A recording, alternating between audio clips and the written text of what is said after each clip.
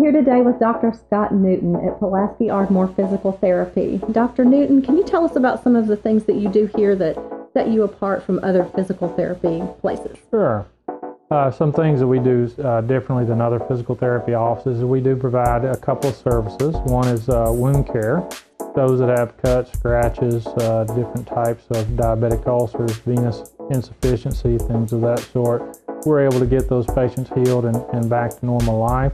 And we also have uh, Sarah Sutterth Bird who does women's health.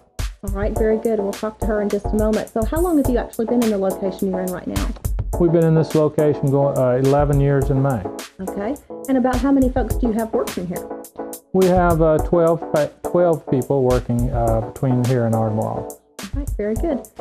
I've caught up with a busy girl here at the Pulaski Ardmore Physical Therapy, Sarah Suttersburg.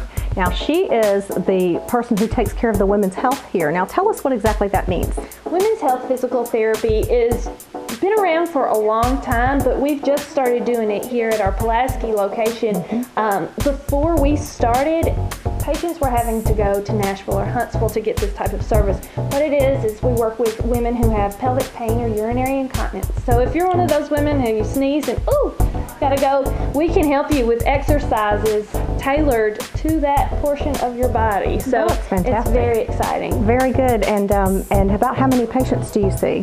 Well, right now we're just getting started, so we don't have a huge, you know, patient population at this time, but we do see as many. We have about four a week right now. very good. Depending on, And it's, is it just for women?